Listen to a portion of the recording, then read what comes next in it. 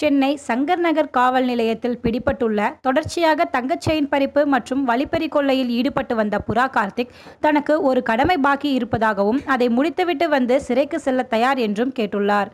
ஒன்பதாம் வகுப்பு படித்துவிட்டு சென்னையில் வழிப்பறி செயின் கொள்ளைகளில் ஈடுபட்டு வந்த புறா கார்த்திக் தொடக்கத்தில் சென்னை தாதா காக்கா தோப்பு பாலாஜியின் டெமில் இருந்து பின்னர் சில காரணங்களுக்காக விலகியுள்ளார். மனைவியை பிரிந்து வாழ்ந்து வந்த புறா கார்த்திக்கிற்கு சிறு வயது முதலே நாய் புறாக்களை வாங்கி வளர்க்கும் ஆசை இருந்த நிலையில் மீண்டும் ஈரோடு ஜெயலட்சுமி என்பவரை மணந்து ஏழு மாத குழந்தையுடன் ஈரோட்டில் வாழத் தொடங்கினார்.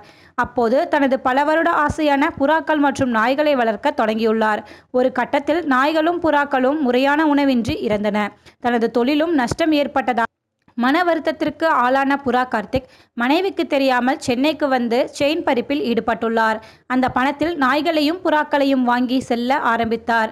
ஆனால் அவற்றிற்கு ஆகும் செலவையும் ஒரு நாளைக்கு ஐம்பது கிலோவுக்கு குறையாமல் தேவைப்படும் இறைச்சி வாங்கும் செலவையும் சமாளிக்க வழியில்லாமல் திணறிய புறா கார்த்திக் சென்னைக்கு அவ்வப்போது வந்து வழிப்பறி மற்றும் தங்கச் செயின்களை பறித்து அவற்றை விற்று பணத்தை தேற்றி கொண்டு செல்வார். இது பற்றி பேசிய புறா கார்த்திக் சென்னைக்கு வந்ததுமே ஒரு புது பைக்கை திருடிக்கொண்டு கூட்டமாக பெண்கள் இருக்கும் இடங்களுக்கு செல்வேன்.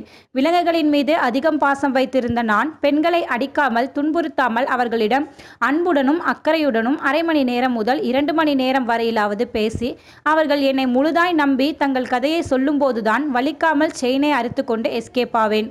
திருடிய பைக்கை ஏதாவது ஒரு பார்க்கிங்கில் விட்டுவிடுவேன்.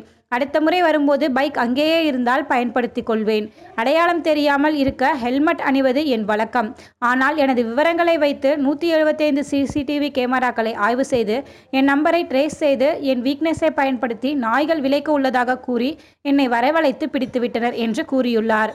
மேலும் தான் சிறை செல்வதற்கு தயார் என்று கூறிய புறா கார்த்திக் ஆனால் தனக்கு ஒரு கடமை பாக்கி இருப்பதாகவும் அது என்னவென்றால் கடைசியாக ஒரு முறை தனது நாய்களையும் புறாக்களையும் பார்த்துவிட்டு அவற்றிற்கு வேண்டிய ஏற்பாடுகளை செய்துவிட்டு வர அனுமதி கொடுங்கள் என்றும் கேட்டுள்ளார்.